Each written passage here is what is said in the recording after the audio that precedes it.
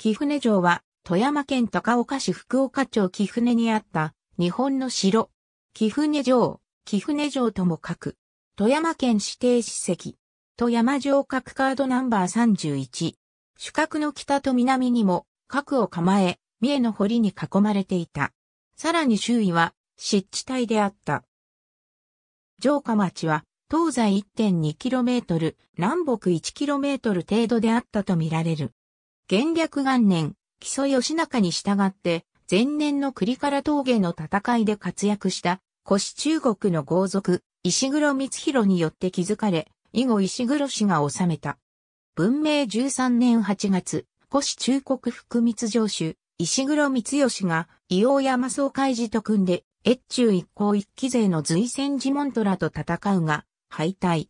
三吉ら一族は安居寺で自害し石黒氏本家が衰退。その後徐々に、貴船石黒氏が勢力を強める。天文年間、貴船城主、石黒左近将軍が、古市中国安楽寺城を攻めて、城主、高橋与十郎即秋を撃っている。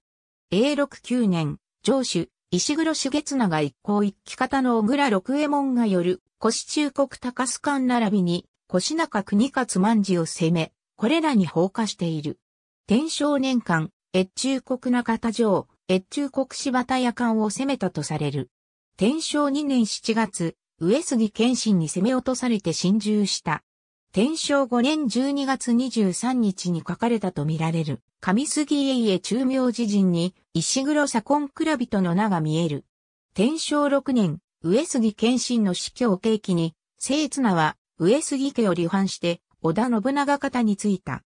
天正8年2月、天正9年4月と2度にわたって、一向一騎勢の重要拠点で当時上杉方だった、越中国安用事五坊を焼き討ち、結果消防させているが、その直後に、小光寺の訴えを聞いた、上杉景勝配下の吉江宗信によって、貴船城は攻め落とされた。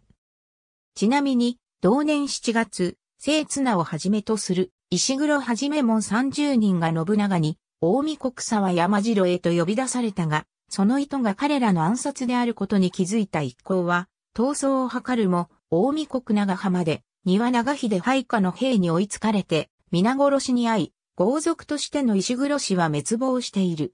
同年7月、小田方の圧力にこうしきれず、宗信が、貴船城から回路を使って退去した。結果木船城は、小田方の手に落ちて、笹成政の支配下に入り、重臣、笹平左衛門が入った。天正12年、佐賀軍1万5千名、能登国政森城攻略のため木船城を出発するも、撤退。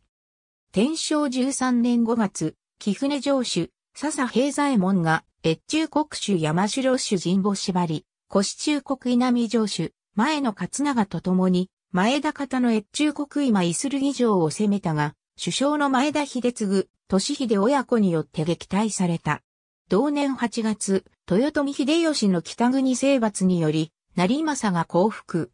貴船城は前田氏の支配下に入り、前田利家の末帝である秀次が城主となって4万国を与えられた。同年11月、天正大地震発生。これにより城の地盤が三城も陥没。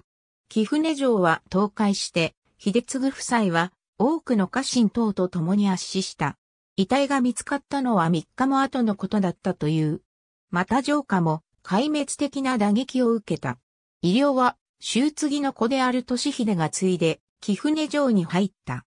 天正14年5月、利秀が上洛途中の上杉景勝を貴船城にて迎えているが、震災の痛手からの立て直しは困難であるとの判断から、その年のうちに廃城となる。行政機能は今、イスルギ城に移され、城下の民は試算した。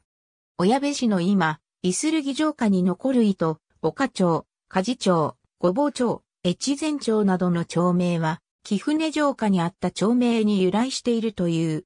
慶長14年に高岡城が築かれるとゆかりの町人が移住し、今日に貴船町の名を残している。わずかに残る土塁と、後年建てられた石碑のみである。親部市との市境に接する立地条件ゆえ、その周辺は、のどかな三居村に囲まれている。石黒重綱が防衛と物資補給の基地として下屋敷を構えていた場所に宝聖寺が建っていたが、その庭園は下屋敷時代のものであるとされ、左近の庭と名付けられている。ありがとうございます。